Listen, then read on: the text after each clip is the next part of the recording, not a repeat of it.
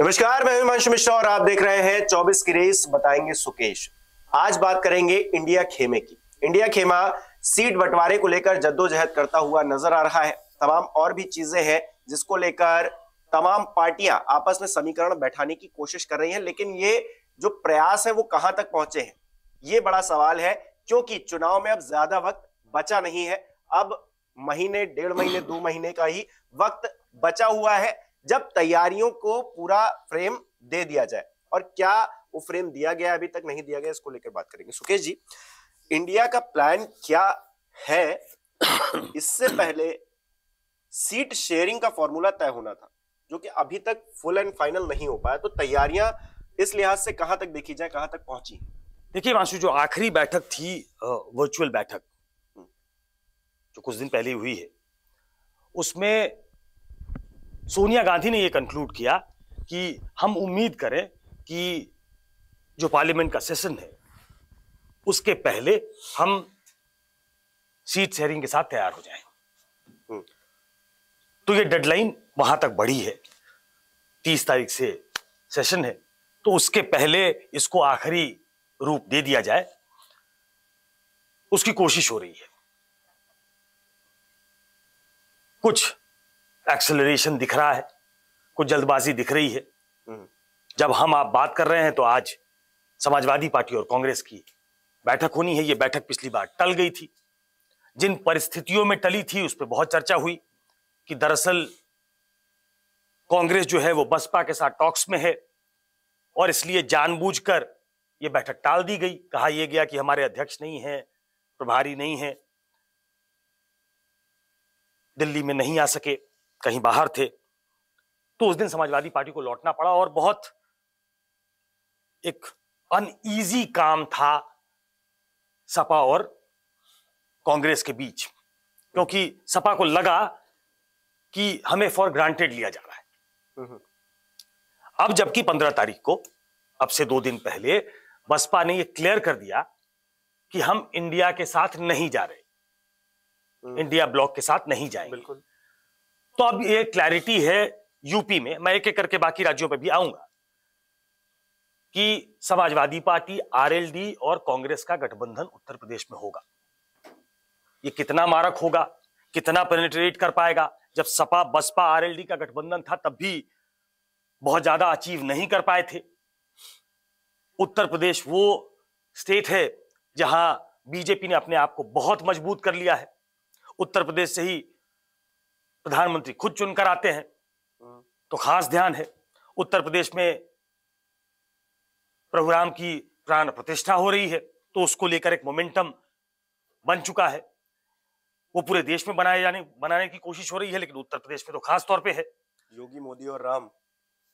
हाँ कुछ फैक्टर कुछ कुछ उसको उसको फैक्टर इन भी किया जा रहा है और वो फैक्टर बनाने की कोशिश भी की जा रही है। हम्म। तो ऐसे में ये बैठक इंपॉर्टेंट है कि कितना एमिकेबली आप सेटल कर लेते हैं उत्तर प्रदेश में सीटों की संख्या को।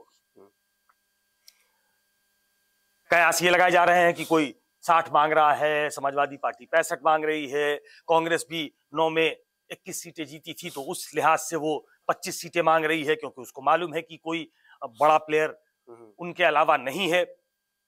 सिर्फ़ तीन लोग हैं आरएलडी सपा और कांग्रेस। बसपा होती तो शायद वो कम सीटों पे दावा ठोकती।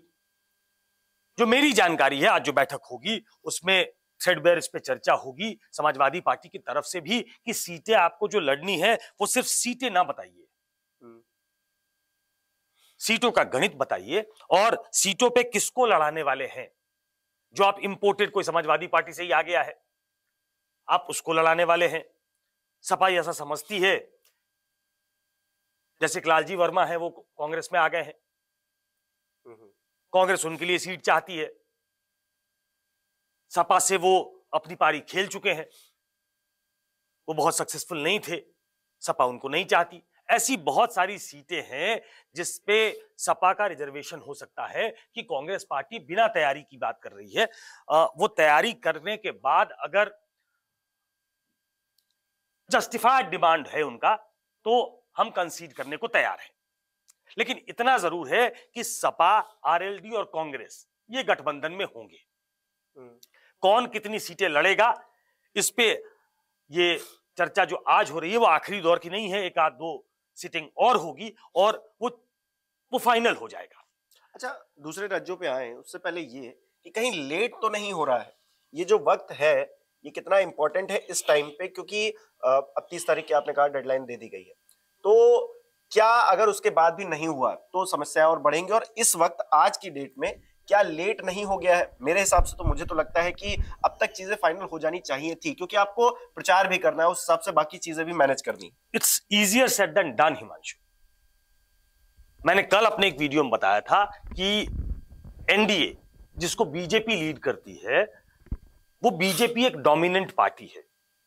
हम्म, वो इंपोज करती है बाकी दलों पे। उत्तर प्रदेश में जो उसका गठबंधन है वो छोटे दलों से है। बिल्कुल। वहाँ भी हिकअप्स है लेकिन उस बड़ी संख्या में वो डिमांड नहीं कर सकते बीजेपी से। हाँ, वो कई बार वो पचास सीटों पे लड़ेंगे। यस वो वो एक दूसरे को कॉम्प्लीमेंट करते हैं सर्टेन सीट्स पे। हाँ, तो वहाँ आसान हो सकता है उत्तर प्रदेश में बीजेपी के लिए। लेकिन यही कांग्रेस के लिए आसान नहीं है। हम्म, क्योंकि वो लेसर पार्टनर के तौर पे है। समाजवादी पार्टी वहाँ बड़ी भाई बड़े भाई की भूमिका में है। और ये डेडलाइन खुद को दिया गया है। हम्म, आज ही लालू प्रसाद यादव से पूछा गया तो उन्होंने कहा कि इतनी आसानी से होता है हाँ। सीट शेयरिंग हो रहा है। बात चल रही है होगा। हम्म। दो दिन पहले नीतीश कुमार से पूछा गया था उन्होंने कहा कि सब ठीक हो जाएगा सब रास्ते पे है। तो ये ट्रिकी बिज़नेस है इंडिया गठबंधन के लिए क्योंकि उनके पास उनके साथ जो उनके पार्टनर्स हैं कांग्रेस के इंडिया ब्लॉक के, आप उनको अगर देखें at the risk of repeating at the cost of repeating मैं कहता हूँ, कल भी कहा था कि उनके साथ अखिलेश यादव है, उनके साथ नीतीश कुमार है, उनके साथ लालू यादव है, उनके साथ ममता बनर्जी है, उनके साथ स्टैलिन है, उनके साथ अरविंद केजरीवाल है, ये तमाम ऐसे शरद पवार है उनके साथ उनके साथ उद्धव ठाकरे हैं, ये तमाम ऐसे लोग हैं जिनके अपने अपने स्टेट्स में बहुत ज़्यादा कुछ स्टेक पे लगा है। तो वो बहुत कंसीड करने को तैयार नहीं होंगे। हम्म, इसलिए इंडिया ब्लॉक में सीटों के गठबंधन का जो मामला है वो इतना आसान नहीं है कि आज आप बैठे एक सिटिंग में आपने ओके कर दिया। लेकिन मैं इस बात को फिर से कह दूँ कि उत्तर प्रदेश में भी गठबंधन होगा। एक दो सिटिंग और होगी। हम्म, वो कितना मारक होगा वो डिबेटेबल हो सकता है। बिहार चलिए। बिहार में भी गठबंधन होगा। उसमें मूल दो पार्टियाँ हैं जेडीयू और आरजेडी। लेफ़्ट और कांग्रेस। वहाँ इतनी डोमिनेंट फोर्स नहीं है कि वो टर्म्स डिक्टेट कर सके। बिल्कुल। तो वहाँ भी गठबंधन हो जाएगा। ऐसा नहीं है कि वहाँ भी चर्चा नहीं हुई है चर्चा हुई है कई दौर की चर्चा हुई है। लेकिन कांग्रेस को भी लेफ़्ट को भी कुछ सीटों को लेकर उनकी अपेक्षा है कि ये सीटें हमें मिलनी चाहिए। गठबंधन में ये काम आसान नहीं है कि आप बड़े आराम से जीती हुई सीटें भी दे दो। बिल्कुल। सत्रह में से सोलह जेडीयू ने जीती हुई है। हम्म, बहुत सारी सीटें ऐसी हैं अगर विधानसभा के हिसाब से देखें तो आरजेडी का क्लेम बनता है। वहाँ से जेडीयू को हटना पड़ेगा वहाँ आरजेडी को आना पड़ेगा। कुछ सीटों पे जो पारंपरिक तौर पे कांग्रेस को लगता है कि ये सीटें किशनगंज उसकी जीती हुई सीट है। कटिहार से वो लड़ते रहे हैं। बांका भी सीट वो चाहते हैं। तो ऐसी बहुत सारी सीटों की चर्चा अगर करने लगूँगा तो देर हो जाएगी। लेकिन बिहार में भी बहुत आसान नहीं है कांग्रेस पार्टी के लिए कि कुछ अपना पाए, अपना अपना हिस्सा लेके वो आराम से निकल ले। ऐसा नहीं है। लेकिन मैं फिर से कह दूँ, बिहार में भी ये गठबंधन करीब करीब तय है। ठीक है। दिल्ली आइए। बंगाल जाने से पहले दिल्ली हम्म, चला आता हूँ। दिल्ली में गठबंधन तय है। उसमें आम आदमी पार्टी और कांग्रेस के बीच बात हो चुकी है। वो चार तीन का फॉर्मूला होगा शायद। चार आम आदमी पार्टी लड़ेगी तीन कांग्रेस लड़ेगी। सीट्स तय हो रही हैं कि कौन सी सीट्स कांग्रेस को दी जाए कि दोनों का वोट जो है वो बीजेपी को अनसेटल कर सके। हम्म, बीजेपी ने अपने हिसाब से वहाँ तैयारी शुरू कर दी है। कुछ बड़े नाम हो सकते हैं कि बाहर से आ जाएँ लड़ने के लिए, क्योंकि मालूम है बीजेपी को कि दोनों का वोट बैंक अगर एक होता है तो दिल्ली में दिक्कत हो सकती है। तो दिल्ली में आम आदमी पार्टी और कांग्रेस का गठबंधन होगा, ये भी तय है। तो मैंने तीन राज्य बता दिए कि यहाँ गठबंधन होगा। सीट्स 19 हो जाए 20 हो जाए किसी दल के लिए, लेकिन इन तीनों स्टेट्स की बात मैंने कर ली आपसे। पंजाब चलिए मैं बता देता हूँ पंजाब में गठबंधन नहीं होगा। पंजाब में कांग्रेस और आम आदमी पार्टी अलग अलग लड़ेंगी। वो गठबंधन में होंगी लेकिन अलग अलग लड़ेंगी तेरह सीटों पे लड़ेंगी। आम आदमी पार्टी भी कांग्रेस भी क्योंकि वह हाँ? ये ये ये चर्चा हो सकती है। हाँ, ये चर्चा हो सकती है कि ये किस तरीके का गठबंधन है कि एक स्टेट में होगा एक स्टेट में नहीं होगा।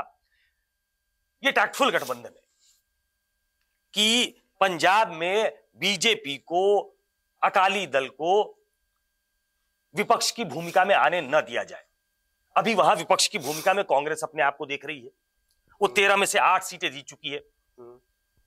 जीत चुकी थी। एक सीट शायद लूज कर गई वो आ, अपना तो सात सात सीटें हैं उनकी अभी एक सीट है आम आदमी पार्टी के पास लोकसभा में पंजाब से लेकिन विधानसभा में वो बहुत मैसिव तरीके से जीते थे। तो वो बीजेपी या अकाली को अपोजिशन के रोल में उन, उनके लिए स्पेस छोड़ना चाहते नहीं है। इसलिए यह तय हो चुका है अभी तक के हिसाब से आम आदमी पार्टी और कांग्रेस में कि वहाँ हम फ्रेंडली फाइट में होंगे। वहाँ हम दूसरे दलों को मौका न दे ये बेहतर है। हम्म। तो वहाँ गठबंधन को लेके कोई लोचा नहीं है। लेकिन वो अंडरस्टैंडिंग कैसे बनेगी? वो जब आप अलग अलग सीटों पे लड़ेंगे तो अंडरस्टैंडिंग नहीं है वहाँ। तो लेकिन एक दूसरे के लिए प्रचार करेंगे? क्या करेंगे आप? नहीं वहाँ वहाँ आप अपनी पूरी माइट के साथ लड़ेंगे कांग्रेस अपनी पूरी माइट के साथ लड़ेगी और आम आदमी पार्टी अपनी पूरी माइट के साथ लड़ेगी और जो भी जीतेगा वो इंडिया ब्लॉक में होगा। ये उनकी सोच है। हम्म। आप और ज़ाहिर तौर पे जो उनका विपक्ष होगा वो ये बात कहेगा कि अच्छा गठबंधन है। आप दिल्ली में साथ लड़ते हो पंजाब में अलग लड़ते हो। भले ही दिल्ली में ना लड़े यहाँ सात सीटें हैं। तेरह सीटों के लिए तो फाइट ज़रूरी है साथ मिलके हो। नहीं तो आप आप आप इस हिसाब से देख रहे हैं और जो ग्राउंड पे राजनीति करने वाले हैं उनकी राय ये है कि यहाँ अपोजिशन को स्पेस ना दिया जाए जैसे कि लेफ़्ट में बीस केरला में बीस सीटें हैं। हम्म। कांग्रेस ने वहाँ अच्छा प्रदर्शन किया था वहाँ बीजेपी हाशिए पे है। बिल्कुल। वहाँ भी गठबंधन नहीं होगा मेरी जानकारी में। वहाँ कांग्रेस और लेफ़्ट अपनी अपनी पूरी ताकत के साथ लड़ेंगे। जो जीत कर आएगा, वो इंडिया ब्लॉक में होगा। वहाँ अगर वो गठबंधन में होते हैं तो बीजेपी को अननेसेसरली वो एक स्पेस देंगे, जो फर्दर इनरोड बना सकती है। बहुत दिन से साउथ में, खासतौर पे केरला में बीजेपी इनरोड बनाने की कोशिश में है, फिराक में है। तो वहाँ वो पंजाब की तरह ही बीजेपी को स्पेस नहीं देना चाहते। यानी एक गठबंधन का एक ऐसा स्वरूप भी रहने वाला है जिसमें एक ही पार्टी सारी सीटों पर चुनाव लड़ेगी लेकिन दूसरा सपोर्ट में भले दूसरे राज्यों में खड़ा है लेकिन उस राज्य में सपोर्ट नहीं करेगा वो अपनी अपनी राजनीति अपनी अपनी नहीं वहाँ सपोर्ट नहीं करेगा वो वो टूथ एंड अपोज करेगा क्योंकि कांग्रेस और लेफ़्ट की ही फाइट होनी है हम्म। केरला में हम्म। तो वहाँ अपनी पूरी ताकत लगाएँगे हो सकता है वायनाड से राहुल गांधी लड़े और लेफ़्ट उनके खिलाफ होगा हम्म। तो ये ये कॉन्ट्रडिक्शन होगा बताने के लिए एनडीए के पास कि कमाल की कमाल गठबंधन है। आप कहीं साथ हो कहीं खिलाफ हो। लेकिन अगर उस उस लॉजिक पे जाएँगे तो जेडीयू हाल तक बीजेपी के साथ थी बिहार में। हम्म। लेकिन अरुणाचल में वो खिलाफ लड़ती थी। एलजेपी हम्म। मणिपुर में खिलाफ लड़ती थी। कई ऐसी पार्टियाँ हैं जो उस गठबंधन में हैं जो सेंट्रल लेवल पे तो नरेंद्र मोदी के साथ है लेकिन स्टेट के लेवल पे वो बीजेपी से लड़ती हैं। लेकिन स्टेट और जो चुनाव होते हैं आम आम चुनाव होते हैं लोकसभा के उसमें फ़र्क होता है। लेकिन अगर एक ही चुनाव में इसी तरह का पैटर्न देखने को मिले तब क्या करिएगा? नहीं ये हो इससे भी इससे भी भयानक पैटर्न देखने को मिल सकता है आपको। बंगाल आइए। हम्म। बंगाल में कांग्रेस के साथ टीएमसी का गठबंधन हो जाएगा लेकिन लेफ़्ट के साथ नहीं होगा। लेकिन तीनों एक ही इंडिया ब्लॉक के हिस्सा होंगे। क्योंकि वो कंसीड करने को तैयार नहीं है ममता बनर्जी। हम्म। कि लेफ़्ट के साथ हम नहीं जाएँगे। लेफ़्ट इंडिया ब्लॉक का पार्ट है। वो बिहार में इंडिया का उम्मीदवार होगा। लेकिन बंगाल में वो इंडिया का उम्मीदवार नहीं होगा। अगर वो लड़ेंगे तो वो अकेले होंगे। टैसिट अंडरस्टैंडिंग कांग्रेस और लेफ़्ट के बीच हो सकती है लेकिन टीएमसी वहाँ उनके खिलाफ लड़ेगी। तो ये डायकोटमी होगी, ये कॉन्ट्रडिक्शंस आपको नज़र आएँगे जो कि बहुत बड़े लेवल पे प्रचारित किए जाएँगे, लेकिन ग्राउंड पे स्थिति ऐसी है कि चाहे वो कांग्रेस हो, चाहे वो टीएमसी हो, चाहे वो लेफ़्ट हो, चाहे वो आम आदमी पार्टी हो, वो सब अपनी अपनी स्पेस देखेंगे कि हम कहा अपनी इनरोड्स बना सकते हैं मेंटेन रख सकते हैं अपनी अपनी जो ताकत है वोट की, उसको कमने न दें। क्योंकि ये आखिरी चुनाव नहीं है। उसके बाद भी उनको चुनाव लड़ना है। हम्म। तो मोटे तौर पे जिन राज्यों में देखिए करीब करीब 200 सीटें ऐसी हैं जहाँ मैं बार बार कहता रहा हूँ आपको भी मालूम है कि जहाँ बीजेपी और कांग्रेस की डायरेक्ट फाइट होगी बिल्कुल। जो कमेटी है अलायंस पे उन्होंने करीब 255 सीटें फाइनल की है जहाँ कांग्रेस अकेले लड़ेगी। ये सीटें करीब 400 के आसपास थी 2019 में। उन्होंने उसको घटा के 255 किया कि सारी एनर्जी हम 255 पे फोकस करेंगे वहाँ हम कितनी जीत सकते हैं। ठीक है। बाकी सीटों पे हम अलायंस करेंगे। कुछ जगह वो फ्रेंडली फाइट में होंगे कुछ जगह वो अलायंस करेंगे। तो मैं फिर से बता दूँ कि उत्तर प्रदेश में कोई ऐसी फ्रेंडली फाइट नहीं है। बिहार में कोई ऐसी फ्रेंडली फाइट नहीं है। टीएमसी के साथ बंगाल में गठबंधन है लेकिन लेफ़्ट के साथ नहीं है। आम आदमी पार्टी के साथ दिल्ली में है पंजाब में नहीं है। तो ऐसे बहुत सारे गठबंधन होंगे जैसे डीएमके डीएमके के साथ कांग्रेस का गठबंधन है हम्म। कांग्रेस वहाँ डीएमके के बल पे वहाँ उनका ऑर्गेनाइजेशन पहले की तरह मज़बूत नहीं है लेकिन डीएमके वहाँ काफ़ी मज़बूत है तो वो डीएमके के साथ मिलकर चुनाव लड़ेगी हम्म। तो ये ये सीटें तय होना बहुत मुश्किल नहीं है उसमें थोड़ी देर लग सकती है लेकिन इन राज्यों में सीटें तय हो जाएँगी अब सवाल ये आएगा कि सीटें तो तय हो गई आपने कोई नीति बनाई है कोई ऑल्टरनेट विजन रखा है क्या देश के सामने हम्म। तो वो आज सामने ये आया कि कांग्रेस ने मैनिफेस्टो कमेटी के चेयरमैन उनके चिदम्बरम है हम्म। आज उनकी पीसी थी तो कांग्रेस ने वो ओपन किया है एक वेबसाइट की आप सुझाव दें। तो वो देखना होगा कि युवाओं के लिए महिलाओं के लिए किसानों के लिए गरीबों के लिए। जो जो एक बड़ा वर्ग नरेंद्र मोदी का समर्थक है उसके लिए उस मैनिफेस्टो कमेटी में क्या होता है? मैनिफेस्टो कमेटी क्या बनाती है? और ये ये ये कांग्रेस की मैनिफेस्टो कमेटी जब वो बाकी लोगों के साथ बैठेंगे बाकी दलों के साथ बैठेंगे तो नीतीश कुमार चाहेंगे कि बिहार का मॉडल हो। हम्म। अब बिहार का मॉडल क्या है? जिस पे बहुत चर्चा हो रही है। और नीतीश कुमार तेजस्वी यादव ये चाहते हैं कि बिहार का मॉडल आगे बढ़ाया जाए। वहाँ रोज़गार की चर्चा है। आने वाले दिनों में आप देखेंगे कि कुछ दिया जाएगा बिहार को। बिहार सरकार की तरफ़ से जेडीयू की तरफ़ से कि पिछले सत्तर दिनों में हमने दो लाख से ज़्यादा सिर्फ़ एक विभाग में नौकरियाँ दी हैं। वो शायद बताए कि एक मिनट में इतनी नौकरी एक दिन में इतनी नौकरियाँ। हो सकता है सेकंडों में गिनवाए। हाँ हो सकता है सेकंडों में गिनाए। वो वो इसलिए है क्योंकि पॉलिटिक्स जो है वो परसेप्शन का गेम है हम्म।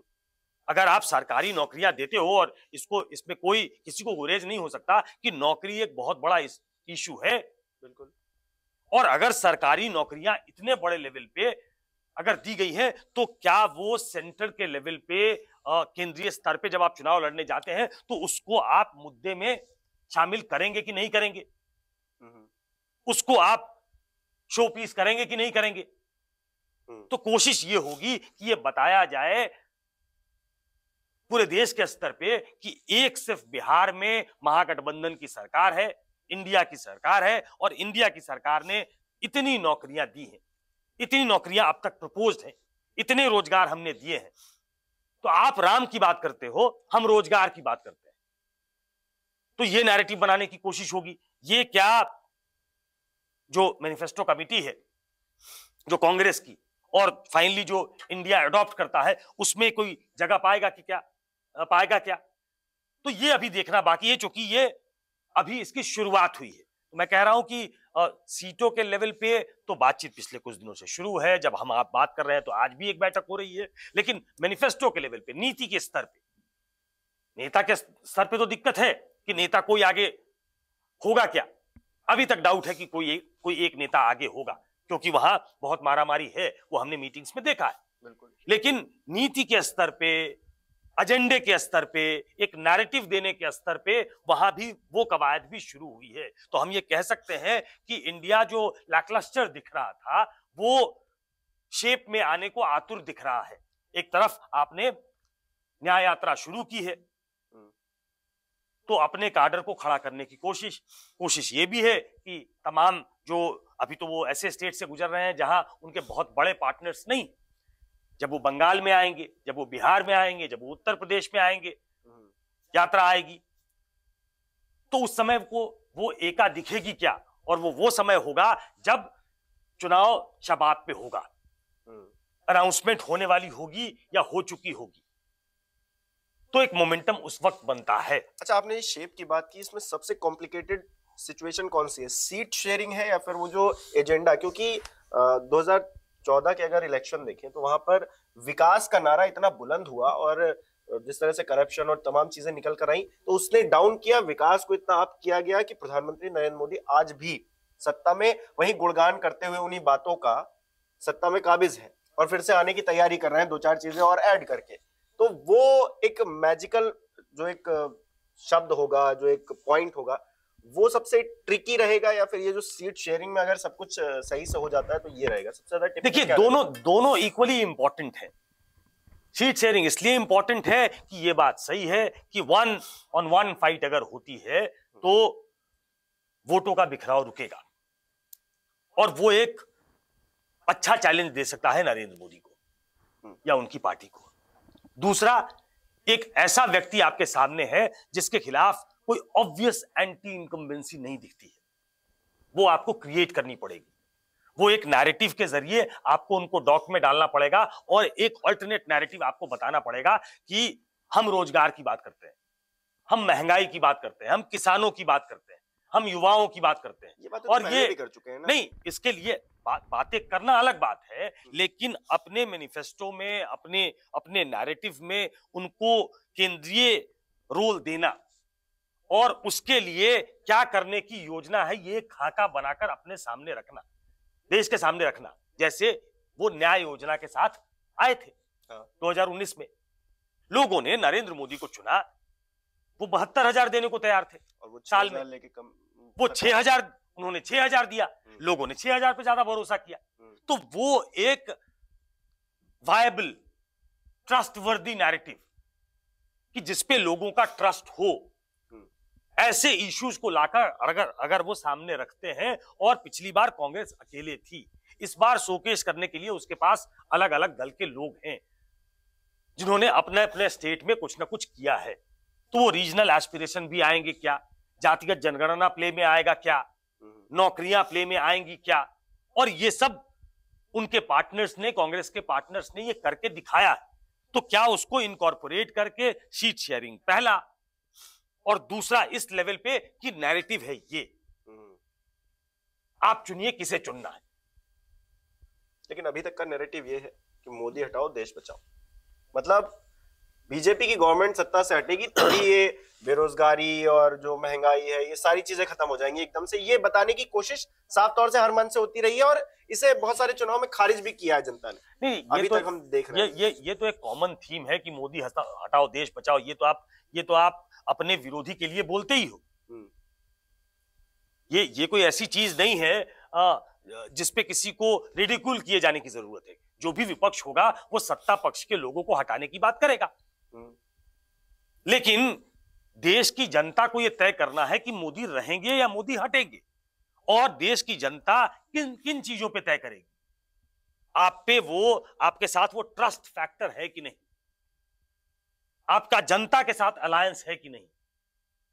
आप न्याय की बात करना चाहते हैं तो वो न्याय जनता आपसे उम्मीद करती है, अगर मोदी ने उसके साथ न्याय नहीं किया है।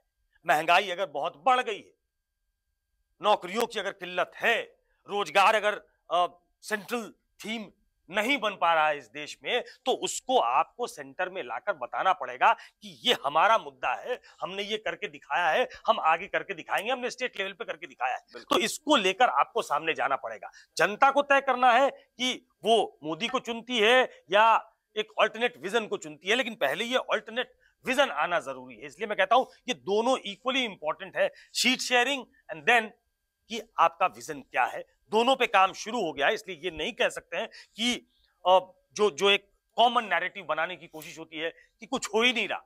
हाँ। ऐसा नहीं है कि कुछ नहीं हो रहा। आप हर दिन अगर चाहेंगे कि आज यूपी डन ये ये ये ये ये ये ये ये जितना हमको समझ में आता है ये बहुत बड़े आराम से ही बात मान लेनी चाहिए कि ये नेताओं को भी इतना समझ में आता है कि हमें किस लेवल पे एडजस्टमेंट करना है कहा हाँ, करना नहीं, है नहीं, तो ये बॉक्स तो ये बॉक्स टिक करना कागज़ पे आसान दिखता है ग्राउंड हम्म। में मुश्किल है ग्राउंड पे ये काम हो रहा है इसलिए मैं कह रहा हूँ कि अगर इस तरीके से वो आगे बढ़ते हैं हम्म। और आने वाले दिनों में ये पता लग जाएगा कि वो कितना आगे बढ़े हैं फिर जाकर ये लड़ाई कॉन्टेस्ट वाली दिख सकती है। थोड़ा इंतज़ार करना पड़ेगा। तीस तारीख का जो डेडलाइन है उसको उसको पास आने दीजिए और इस यात्रा को भी थोड़ा आगे बढ़ने, बढ़ने दीजिए। फिर लगेगा कि मोमेंटम क्रिएट हो रहा है नहीं हो रहा है फिर पता लगेगा। चलिए एक तीस दिसंबर की तारीख थी जब ममता बनर्जी ने कहा था कि सब फाइनल कर लीजिए वो तो हुआ नहीं। अब अगली तीस का इंतज़ार करते हैं देखते हैं कि इसमें चीज़ें फुल एंड फाइनल हो पाती हैं या नहीं हो पाती हमारे दर्शक क्या सोचते हैं इस बारे में? हमें कमेंट करके बता सकते हैं। बहुत बहुत शुक्रिया। नमस्कार, मैं हूँ मानक गुप्ता। अगर आपको हमारा ये वीडियो पसंद आया हो तो इसे लाइक और शेयर ज़रूर करें। और हाँ, हमें सब्सक्राइब और फॉलो करना ना भूलें, ताकि आप देश और दुनिया की कोई खबर मिस ना करें। तो जुड़े रहिए हमारे साथ और देखते रहिए न्यूज़ 24